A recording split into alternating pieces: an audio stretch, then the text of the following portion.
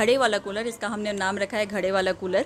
तो मिट्टी का जो घड़ा होता है और उस पर जो इवापोरेशन के द्वारा मिट्टी का घड़ा जो पानी ठंडा करता है, उसी प्रोसेस को यूज़ करके हमने एक मिट्टी का घड़ा का कूलर बनाने की कोशिश की है।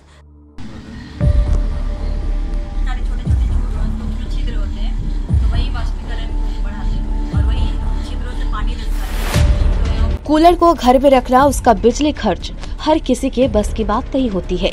मध्यम वर्गीय परिवार को उमस भरी गर्मी से राहत के लिए गया के एक टीचर महिला सुस्मिता सान्याल ने घड़े वाला कूलर बना डाला।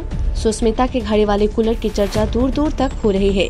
ये खास तरह का कूलर लोगों को न सिर्फ़ गर्मी से बचा रहा है, बल्कि पर्यावरण का संरक्षण भी करता है। ये कूलर खासकर मध्यम वर्गीय परिवारों के लिए काफ़ी लाभदायक सिद्ध हो रहा है। इस कूलर में काफ़ी ऊर्जा की ज़रूरत नहीं होती है। एक तरफ़ से कह सकते हैं कि ये कूलर इको फ्रेंडली है। इस कूलर में बाल्टी का उपयोग सांचा के लिए किया गया है जो कि कहीं भी आसानी से ले जाया जा सकता है। बीडी न्यूज़ बिहार के लिए गया से आशीष कुमार की रिपोर्ट। की वजह से जब हम देखते हैं कि नहा कर हम आते हैं और पंखे के नीचे खड़े हो जाए तो हमें ठंडे लगता है हम लोग हमारे स्किन भी। हमने एक घड़े वाला कूलर इसका हमने नाम रखा है घड़े वाला कूलर।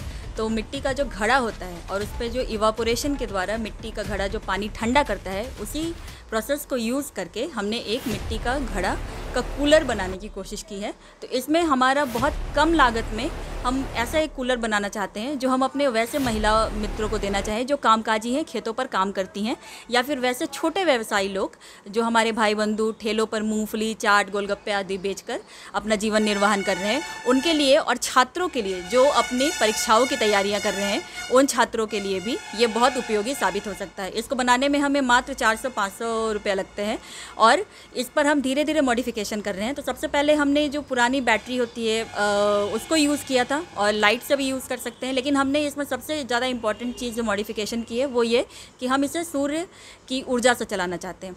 तो वो भी हमने किया था और अब आगे बढ़कर हम कचरे से निकली हुई जो इलेक्ट्रिसिटी है, जो ऊर्जा है एनर्जी है, उसको भी इसमें लगाना चाहते हैं और हम चाहते हैं कि हमारा जो कूलर है, ये कचरे से निर्मित ऊर्जा पर चले।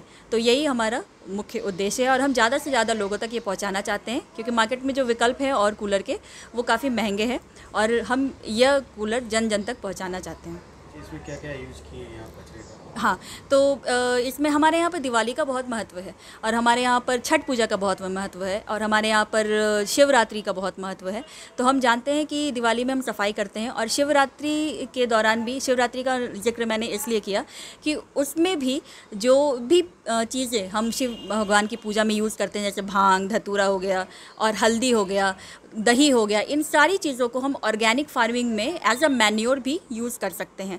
तो हमारा जो उद्देश्य है, वो है कि हम जन जन तक जाकर अपने आसपास के जितने क्षेत्र हैं, वहाँ पर लोगों से जाकर कूड़ा जो है उनके पास, जो वो डंप कर देते हैं, उनको पहले जागरूक करना कि नगर निगम के कर्मचारी जब आपके यहाँ पर सुबह सुबह आएँ तो प्लीज़ आप अपना जो कूड़ा है वह उनको उठकर दें। कई बार व्यस्तता का कारण या फिर लेजीनेस के कारण हम कूड़ा नहीं दे पाते हैं और क्या करते हैं, कूड़ेदान में कूड़े को डंप कर देते हैं। तो वैसा कूड़ा, जो जैविक कूड़ा है, उससे हमने वर्मी कंपोस्ट बनाया और वही कंपोस्ट उन सब लोगों को बनाकर एक पौधे के साथ गिफ्ट किया और जो हमारी पूरी टीम है शालेंदर सर हमारे वरीय शिक्षक हमारे विद्यालय के और सरजीत सर हमारे कंप्यूटर शिक्षक हमारे विद्यालय के। हम लोग, हम लोगों की पूरी टीम, हम लोग जागरूकता और अध्ययन और ये जो प्लांट हम उन लोगों को देते हैं, उनकी फिर देखभाल भी हम लोग करते हैं। तो उन खाद के रूप में उनको गिफ्ट किया एज अ प्लांट भी और मैन्योर भी और साथ ही साथ उनके यहाँ से जो पेंट के डब्बे और ये जो पुराने पाइप हैं वो हमें मिले और जो बैटरी है वो हमें मिली और जो पुराने मिट्टी के घड़े या बर्तन हैं जो टूट फूट जाते हैं, उन सबको हमने इकट्ठा किया और उन सबको जोड़कर ही ये कूलर हमने बनाया है। और ये कूलर भी हम उन लोगों को देना चाहते हैं, गिफ्ट भी करना चाहते हैं, ताकि कचरे का जो प्रबंधन है, उसका एक टिकाऊ और उपाय निकल सके। और लोगों में ये जागरूकता आ सके, क्योंकि अब बहुत ज़रूरी हो गया है कि हम कचरे का जितना उत्पादन करें उससे ज़्यादा उससे ज़्यादा जागरूक उसके निपटान करने में हो।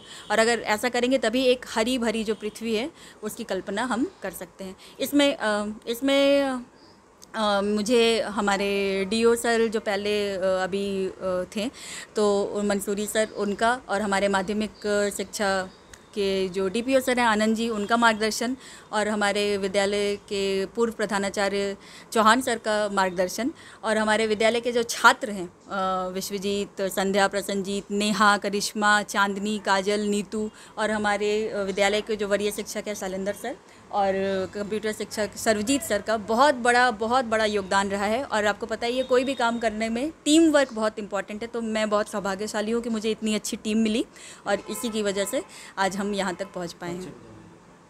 बताइए। जी आ, मैं सुष्मिता सन्याल और उच्च विद्यालय चंदौती गया में एज ए शिक्षिका कार्यरत हूँ। तो काफ़ी मुझे आठ साल हो गए काम करते हुए और बहुत टाइम से मैं ये कूलर के ऊपर काम कर रही थी और ये शोध के ऊपर काम कर रही थी। क्या केंद्र सरकार आपको कुछ इस पर काम करने के लिए दी? जी तो पीएम स्टैग जो है prime minister science technology innovation advisory council उनकी तरफ़ से इन्वेस्ट इंडिया के अंतर्गत एक नौ मिशन जो ईजाद किए गए हैं तो उनमें एक मिशन है वेस्ट टू वेल्थ तो उसमें मैंने अपना प्रोजेक्ट सबमिट किया था और उन लोगों को काफ़ी अच्छा लगा मेरा प्रोजेक्ट और इसमें बहुत सारे उनको प्रोबेबिलिटी नज़र आई और भविष्य में भी इस प्रोजेक्ट पर काम करने के लिए मुझे एक फेलोशिप मिला है। तो और मेरे साथ ही आईसर भोपाल के एमआईटी औरंगाबाद और भी बहुत अच्छे अच्छे साठ लोगों का चयन हुआ है ऑल ओवर इंडिया से थर्टी थ्री स्टेट से। तो